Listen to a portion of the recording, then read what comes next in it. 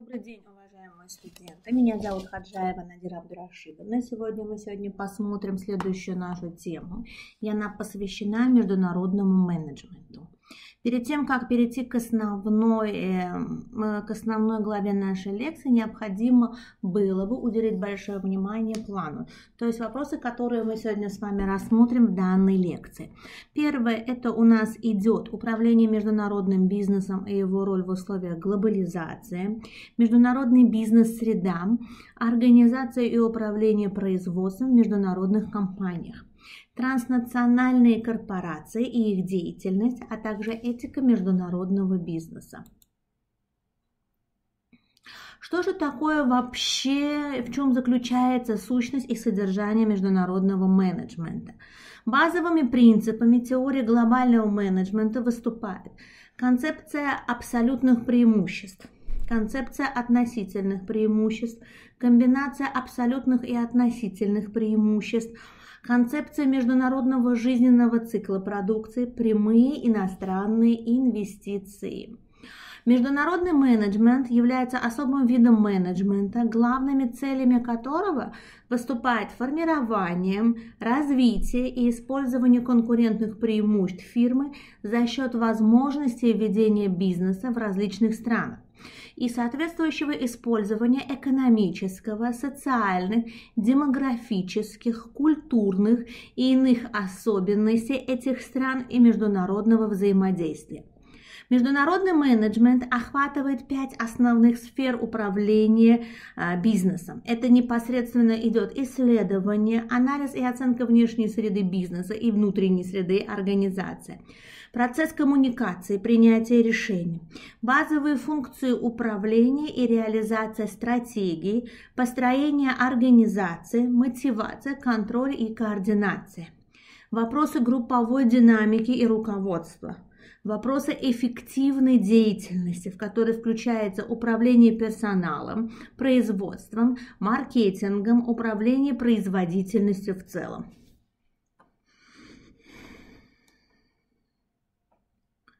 Необходимо отметить, что целевая ориентация фирмы, решившей входить в международный бизнес, сосредотачивается на трех основных направлениях, которые можно считать особенностями, но не принципиальными отличиями от национальной модели.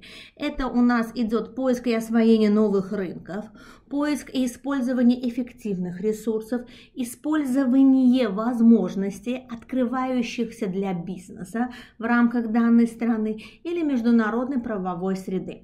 С другой стороны, есть своего рода переменные, которые а, опосредуют этот целевой список. Сюда включается уровень экономического развития отдельных стран, культурное сходство, страны базирования и страны пребывания – природные особенности стран, а также характеристика демографии страны. Именно сюда входит население, его размещение по стране, уровень урбанизации. Американский исследователь Робинсон разделил историческое развитие международного бизнеса на пять этапов. Первый этап – это приходы на 1500 и 1850. Эра называется коммерцией. Именно она поставила перед предпринимателями развитых европейских государств вопросы, определившие поступательное развитие международного менеджмента. Сюда входят такие вопросы, как есть ли коммерческий смысл приносить предпринимательскую активность и риск за рубежом государства? И могут ли соответствующие выгоды или потери быть оценены заранее? От каких основных факторов реально зависит принятие такого рода решений? Насколько свободен бизнес в своих решениях и действиях от политики своего государства? Может ли он рассчитывать на его поддержку? Что следует учитывать, предвидеть и предпринимать, ведь деловая операция на чужой территории в интересах обеспечения долговременной прибыльности этих операций и безопасности их ведения. Эра экспансии, это вторая непосредственно, 1850-1914, позволила международному бизнесу сформулировать главные мотивы своего существования и развития. Более эффективное использование ресурсов, сырьевых, природных, энергетических, расширение рынков сбыта, новые поля приложения свободных финансовых ресурсов, использование выгодных возможностей местного законодательства. Сюда входит налоговые таможенные. Третий период – эра концепций – 1914-1945. Это превращение крупнейших компаний, компаний-консионеров, оперировавших на колониальных рынках в своем роде, автономные экономические государства, осуществляющие производственные, торговые, образовательные, медицинские, транспортные, а нередко и полицейские функции не только для своих работников, но и зачастую для всех жителей, прилегающих к их концессиям районов. Эра национальных государств 1945-1970. Он характеризуется по определению пакетом развития, который подразумевает, что реальное продвижение национальной экономики к эффективному производству и сфер услуг требует определенного набора решений в областях технологий, капитала, информатики, квалификации и компетентности персонала, консалтинговое поддержание. Но получить это сразу и вместе невозможно. В силу этих причин разбивающиеся страны и их фирмы брали разные элементы элементы, пакеты в разных странах и у разных фирм, делая его оптимальным для себя. Эра глобализации – это период развития цивилизации вообще в международном бизнесе. В частности, приходит под знаком революционных технологических изменений, вслед за которым идут экономические, социальные, политические реформы.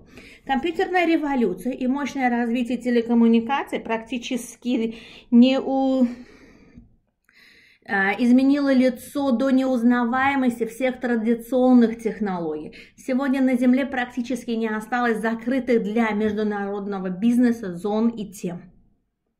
Характерными чертами современного бизнеса является это доступность и всеобщность. Имея, изменяя стратегические и тактические перспективы, практически любая фирма имеет возможность открытия для себя поля деловой активности. Ступенчатость развития вхождения фирм в международный бизнес начинается с простейших форм обычной зарубежной торговли и по мере развития достигает высшей формы мультинациональной корпорации.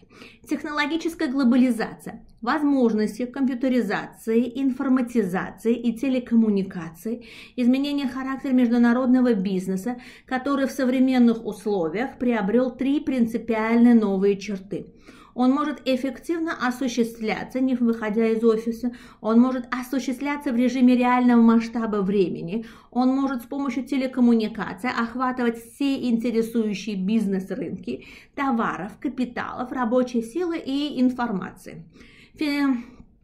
Финансиризация, финансовое содержание международных деловых операций, а также сложное взаимодействие национального и интернационального бизнеса.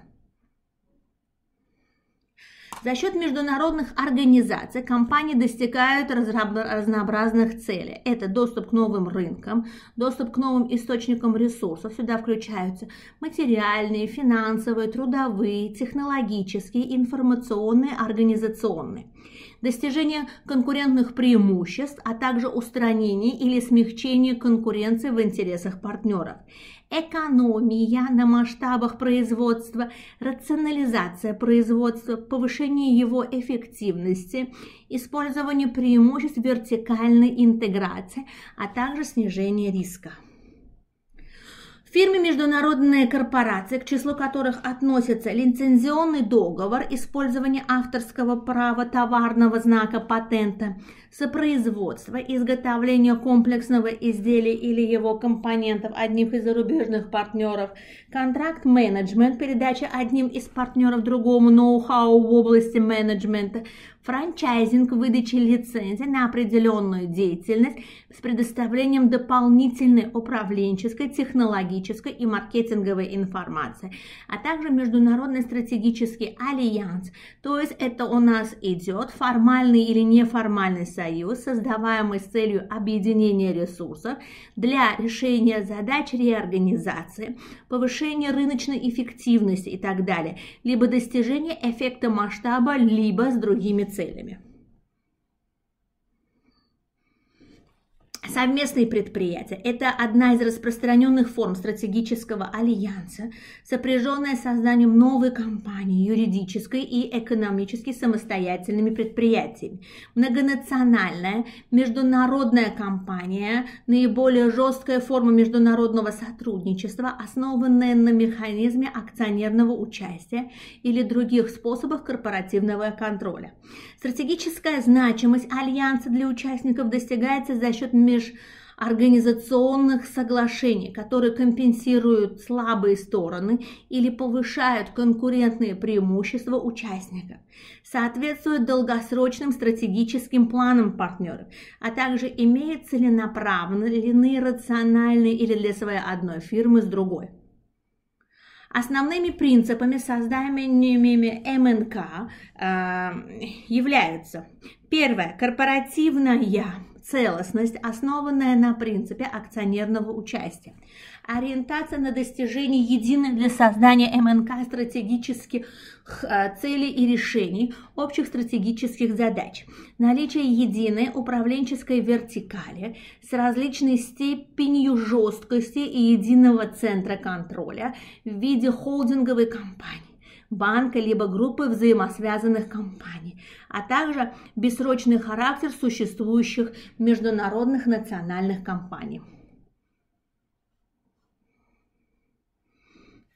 А, общепринятая международная классификация фирм предусматривает их рассмотрение по следующим классификационным признакам. Первое. По правовому положению сюда включается единое началие предприятия, объединение предпринимателей, объединение капитала, объединение лиц, командита, э, командитное товарищество, полное товарищество, общество с ограниченной ответственностью, а также акционерное общество по характеру собственности. Она может быть частная, государственная, кооперативная, по принадлежности капитала, иностранная, национальная, смешанная. По целям объединения э, и степени самостоятельности характеру хозяйственных отношений участников. Сюда могут быть входить картели, тресты, синдикаты, концерны, промышленные холдинги, а также финансовые группы.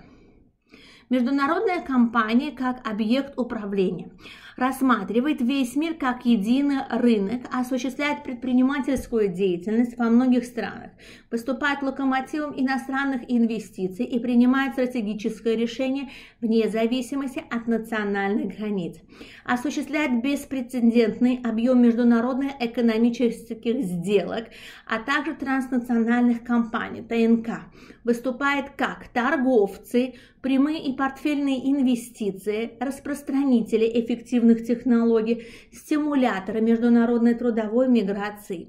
Каждое предприятие, входящее в ТНК, функционирует в рамках согласованной политики и единой общей стратегии.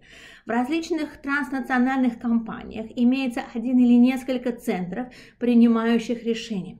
Активы ТНК связаны общей собственностью. В рамках каждого ТНК согласованное распределение результатов научно-исследовательских, конструкторских разработок, ресурсов и ответственности между родственными предприятиями.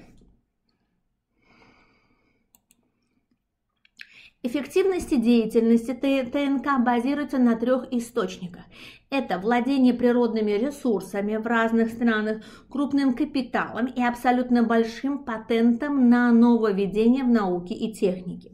Использование преимуществ, расположение предприятий по всему миру с оптимальной комбинацией природных ресурсов, плодородных земель, благоприятного климата и дешевой рабочей силы, а также опыте международного менеджмента и организации интернационального производства, разработки новых, пользующихся спросом во всем мире товаров и услуг с использованием концепции международного маркетинга. В финансовом аспекте ТНК сети филиалов в разных странах находится в выгодном положении по сравнению с национальными компаниями, поскольку аккумулируют капитал всей своей международной системы и перемещают его в ту страну, где использовать его наиболее выгодно обладают а, информацией о состоянии мировых финансовых рынков 24 часа в сутки, действуя направление с востока на запад. Например, в конце дня головная компания в Нью-Йорке передает по электронной связи ситуацию на мировом рынке э, своему родственному предприятию в Гонконге. На следующее утро головная компания получает из Гонконга информацию о событиях на рынке за предыдущие 12 часов и анализ ситуации. Таким же образом, в непрерывном режиме в рамках одной транснациональной компании организуется функционирование неокр, программирование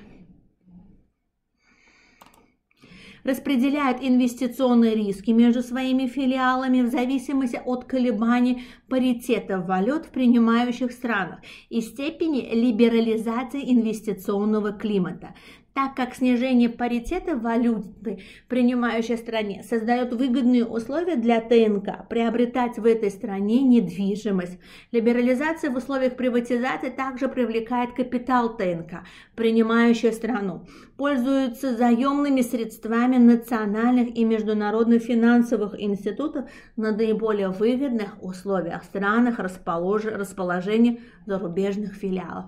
Спасибо большое за внимание.